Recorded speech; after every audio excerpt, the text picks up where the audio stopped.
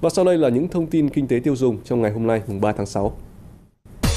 Giá cà phê hiện trong khoảng từ 33.800 tới 34.700 đồng 1 kg, tăng trung bình từ 1 tới 200 đồng 1 kg tại các vùng trồng trọng điểm. Cụ thể tại Con Tum, giá cà phê được thu mua với mức 34.600 đồng 1 kg. Tại Đắk Lắk, dao động trong khoảng từ 34.600 tới 34.700 đồng 1 kg. Tại Đắk Nông và Gia Lai ở mức 34.500 tới 34.600 đồng 1 kg. Giá cà phê thấp nhất toàn vùng ghi nhận tại Lâm Đồng ở mức 33.800 đồng một kg. Ảnh hưởng bởi dịch Covid-19, xuất khẩu gặp khó, khiến giá cua biển tại khu vực đồng bằng sông Cửu Long giảm mạnh.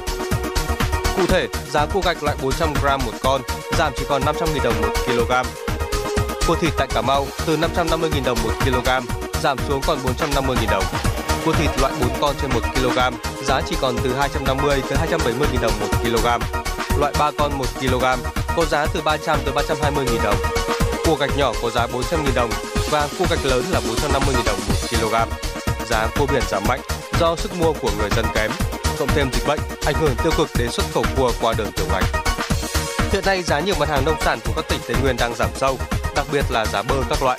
Cụ thể, giá bơ bốt, bơ 034 giá chỉ bằng 1 phần 3 so với những năm trước, chỉ khoảng từ 6 tới 30 000 đồng một kg tùy loại. Thương lái thu mua bơ cũng hạn chế hơn, khách hàng mua cũng chậm lại do lo ngại khó khăn trong quá trình vận chuyển.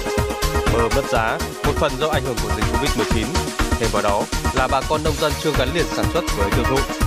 Để giữ đầu ra ổn định, người dân cần hướng tới việc liên kết sản xuất, tạo ra nguồn sản xuất tập trung, sản xuất có quy trình và theo tiêu chuẩn chứng nhận